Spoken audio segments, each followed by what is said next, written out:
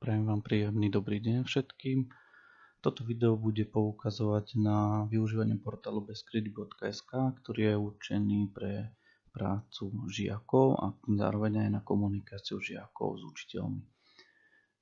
Prvé, čo bude potrebné spraviť po prihlásení vášho dieťaťa, je vyplniť e, údaje o zákonnom zástupcovi, to znamená vaše meno, priezvisko a reálnu mailovú adresu. Na túto mailovú adresu bude odoslaná notifikácia, ktorou potvrdíme aktívnosť tohto žiackého konta. Po úspešnom aktivovaní konta žiackého a následnom prihlásení sa nám to zobrazí následne, kde um, pre nás je najdôležitejší tento horný panel na takú orientáciu základnú, to samozrejme aj pre dieťa, čiže je tu nástenka, digitálna učebnica, strojné jednotky, momentálne nie je aktívny, zábava, sú tam nejaké základné hry, e, pošta dosť dôležitá a známky.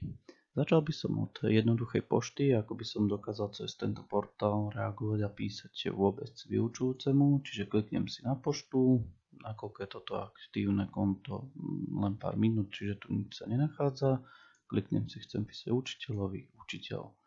Mám tu zobrazených dvoch vyučujúcich, ak by som náhodou chcel písať niekomu inému zo základnej školy, rozbalím si e, okno zobraziť všetkých, kde si môžem vybrať už následne vyučujúceho, ktorý je registrovaný na základnú školu s materskou školou Klačany. Vyberiem si vyučujúceho jednoduchým zakliknutím, ak by som si vybral viacerých, nie je v tom problém. Klasicky ako pri správach, čiže píšeme tam nejaký predmet, napíšeme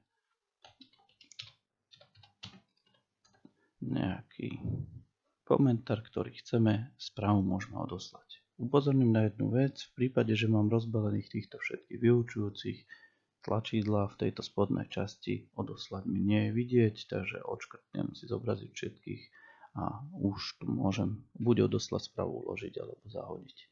Ja ju môžem dať odoslať, to znamená moja správa bola úspešne odoslaná a týmto to pre mňa končí a čakám na vyjadrenie toho daného vyučujúceho. Ak by som si chcel pozrieť, čo som písal, viem sa k tomu dostať cez odoslanú poštu.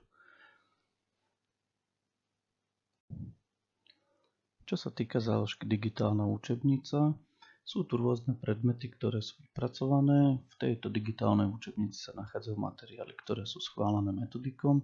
To znamená, že by mali byť správne a nemali by sa tam vyskytovať nejaké rôzne chyby.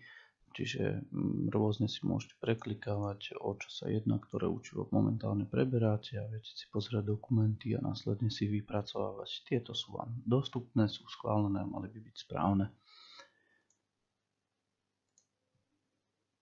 Čiže viete si tu pozrieť aj nejaké vzorové písomné práce, e, keď by sa žiaci pripravovali na nejakú písomnú prácu v škole prejdeme na časť, ktorá je veľmi dôležitá a to je časť nástenka. Na te, v tejto časti v podstate máme zobrazené dokumenty, ktoré vyučujúci popridávali.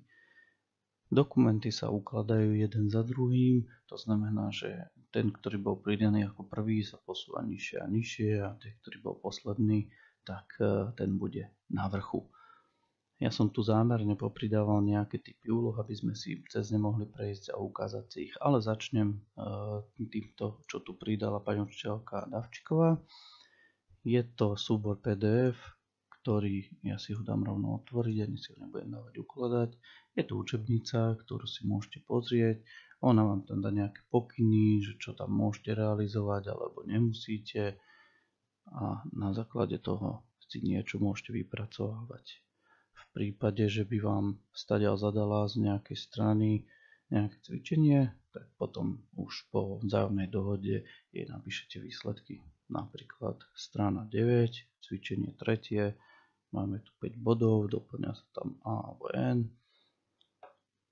Vrátim sa do tejto časti, kde sme si ukazovali, že idem písať pani učiteľka, čiže pošta, učiteľovi, učiteľ, pani učiteľka Davčíková, máme predmet, A na J, D, U, strana 9, cvičenie tretie.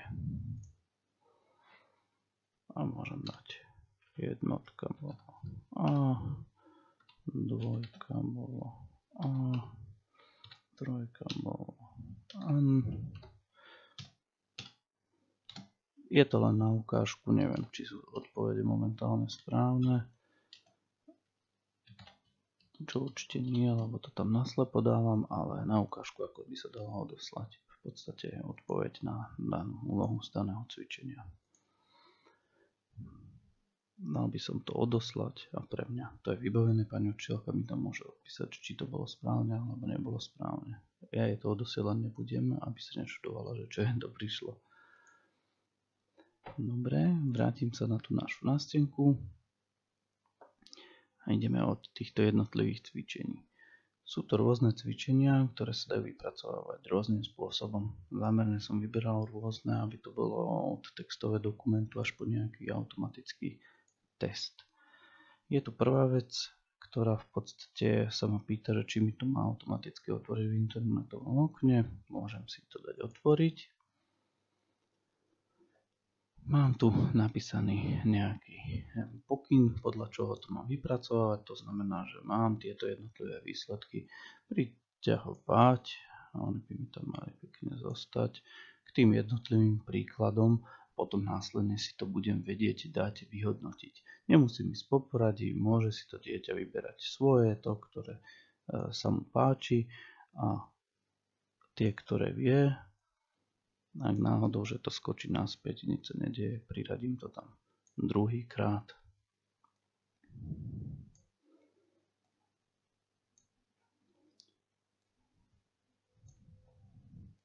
Mohol by som tam aj zámerne nejakú chybičku spraviť.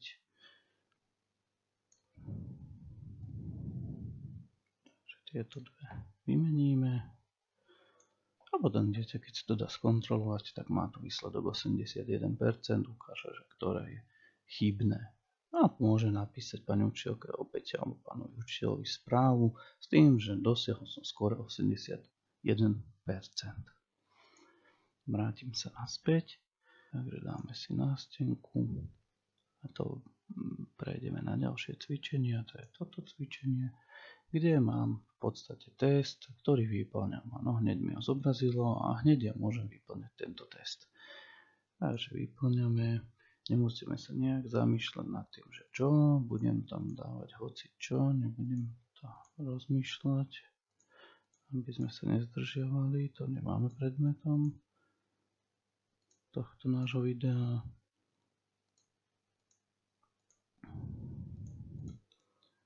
Vyplňame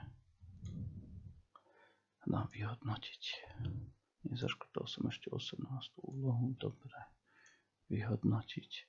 Vyhodnotím mi, ktoré som mal správne, ktoré som mal nesprávne a zároveň, že som získal 33%.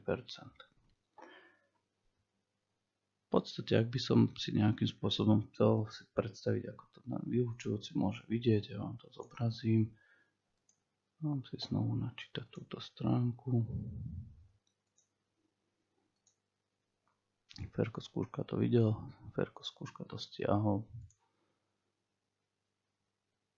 A keď si tu kliknem, tak vidím, že Ferko skúška to napísal na 33%. To je len z pohľadu učiteľa, ako to ten vyučujúci môže vidieť. Vrátim sa na nástenku. A posledné, ktoré nám také zostáva si predstaviť, tak máme e, pracovný list, ktorý je, síce tento je OpenOffice, ale aj v podstate Wordom. No dáme si to rovno otvoriť. Dám si aj povoliť úpravy. To znamená, že ja by som tuto si povyplňal výsledky, akým to má byť.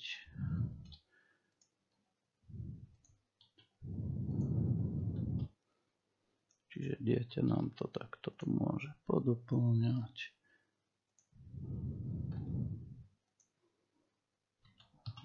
Dáme zámerný 19. Dám si uložiť eh, tento dokument a mal som to tu, tretí ročník.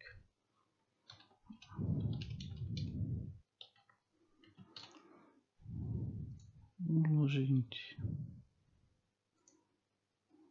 Dobre, vrátim sa sem A teraz môžem ísť poslať e, tento dokument vyučujúcemu. To znamená opäť pošta, učiteľovi, učiteľ. Zaškrtnem učiteľa, predmet, to bola násobielka, pridať prílohu,